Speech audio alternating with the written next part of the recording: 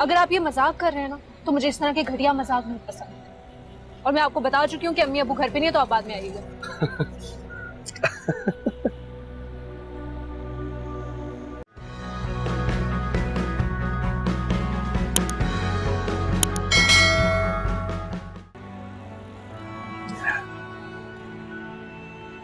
मैं आपकी बहन से नहीं, बल्कि आपसे शादी करना चाहता हूँ। मुझसे मैंने जब से आपको देखा है, मैं भुला नहीं पा रहा हूँ। पहली नज़र में ही आप मुझे बहुत पसंद आ गई है। आपका दिमाग तो नहीं खराब मैंने अपने पेरेंट्स से भी बात कर ली है। उनको अपनी मर्ज़ी और पसंद भी बता दी है। उन्हें बस इस बात का डर है कि कहीं आप लोगों की तरफ़ से इनकार ना हो। जाए इसीलिए मैंने सोचा क्यों ना मैं सबसे पहले आके आप ही से बात करूँ मुझे आप ना होश में नहीं लगे आप प्लीज़ मेरी बात बात तो- सुने अगर आप ये मज़ाक कर रहे हैं ना तो मुझे इस तरह के घटिया मज़ाक नहीं पसंद। और मैं आपको बता चुकी हूँ कि अम्मी अबू घर पे नहीं है तो आप बाद में आइएगा।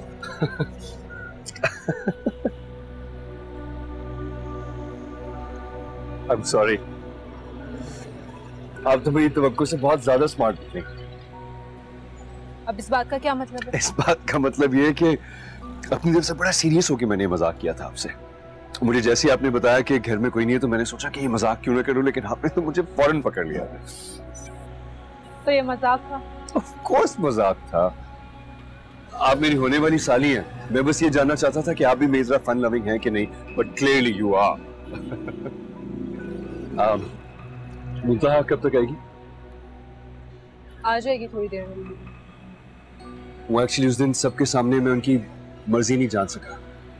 बस यही पूछने आया था कि वो खुश तो है ना?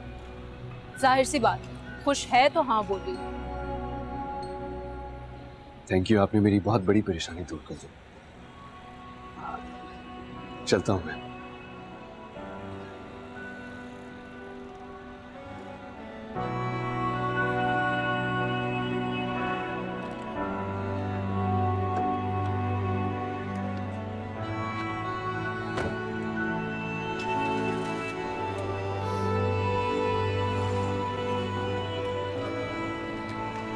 को मुझे कहते हैं जी हेरा मानी सब्सक्राइब करें यूट्यूब चैनल अगर आप ए आर वाई के ड्रामे देखना चाहते हैं और अपना बहुत ख्याल रखेगा थैंक यू